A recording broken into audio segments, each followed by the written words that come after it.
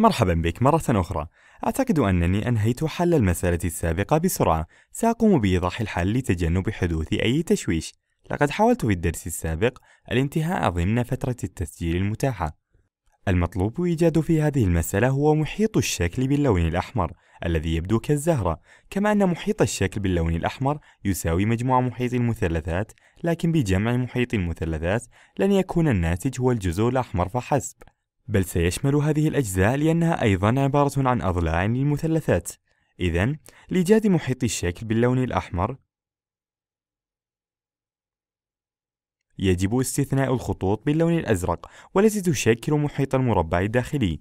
ومحيط المربع الداخلي يساوي العدد تسعة مضافا إليه العدد تسعة مضافا إليه العدد تسعة مضافا إليه العدد تسعة ويساوي العدد ستة وثلاثين.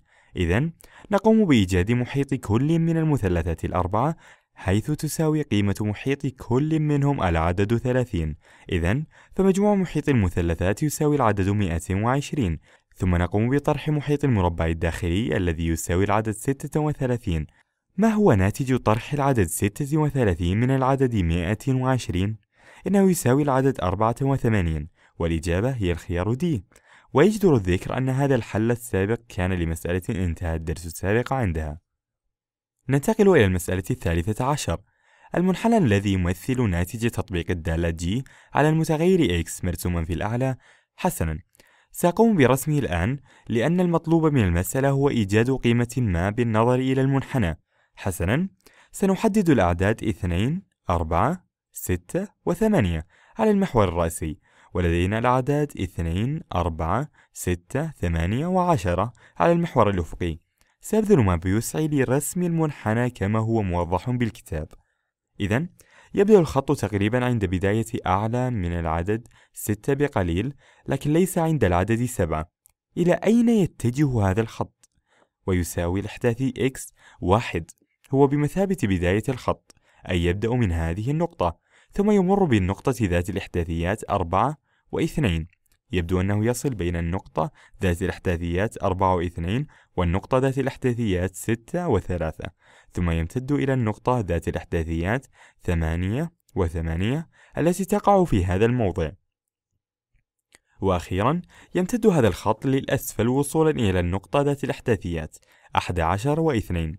وفقا للمسألة يمثل هذا المنحنى ناتج تطبيق الدالة G على المتغير X وإذا كان ناتج تطبيق الدالة G على العدد 2 يساوي العدد K فأي من الخيارات التالية يساوي ناتج تطبيق الدالة J على المتغير K ما قيمة العدد K؟ لنقم بإيجاد ناتج تطبيق الدالة J على العدد 2 إذا كان الإحداثي X يساوي العدد 2 فما قيمة الإحداثي Y؟ حسنا يبدو أنه يساوي العدد 5 تقريبا أليس كذلك؟ إذا العدد k يساوي خمسة وبالتالي فإن ناتج تطبيق الدالة j على العدد اثنين يساوي خمسة والمطلوب إيجاده هو ناتج تطبيق الدالة j على العدد k. وبما أن العدد k يساوي خمسة علينا إيجاد ناتج تطبيق الدالة j على العدد خمسة. يبدو أن الإحداثي المقابل للإحداثي x الذي يساوي خمسة هو العدد ثلاثة في الحقيقة. وفقا للرسم الموجود في الكتاب لا تبدو القيمة قريبة من العدد ثلاثة بل أقل من العدد ثلاثة ربما اثنين ونصف حيث أن هذا الرسم ليس دقيقا بشكل كبير. بالنظر إلى الإحداثي x إذا كان هذا الإحداثي يساوي العدد خمسة فالعدد المقابل له على المنحنى الأصلي هو العدد اثنين ونصف. يجب تغيير هذه القيمة إلى اثنين ونصف والإجابة هي الخيار B وسوف ننتقل إلى المسألة الرابعة عشر. إذا كان العدد صفر أقل أو يساوي المتغير x أو إذا كان المتغير x أقل من أو يساوي العدد ثمانية وكان العدد سالب واحد أقل من أو يساوي المتغير y والمتغير y أقل من أو يساوي العدد ثلاثة. أي الخيارات التالية يعبر عن مجموعة القيم المحتملة لناتج المقدار؟ حاصل ضرب المتغير x في المتغير y. حسنا علينا إيجاد الحد الأعلى والأدنى للقيم الناتجة عن ضرب المتغيرات x و y أولا ما هي أقل قيمة محتملة لحاصل ضرب المتغيرات x و y إذا كان المتغير y سالبا وقيمة المتغير x كبيرة أو أكبر ما يمكن أي إذا كان المتغير x يساوي العدد ثمانية فالمتغير y يساوي العدد سالب واحد وهذه أقل قيمة لحاصل ضرب المتغير x في المتغير y.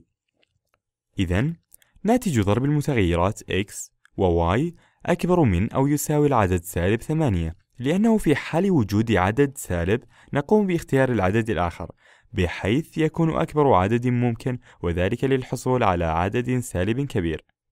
ما هو أكبر عدد ناتج عن ضرب المتغيرات x و y؟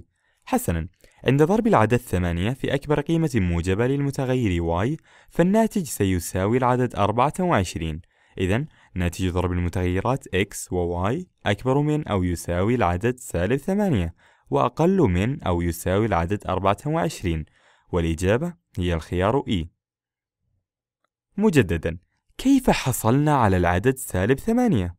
ربما هذا هو الجزء الذي قد لا يتبادر إلى ذهن الكثيرين.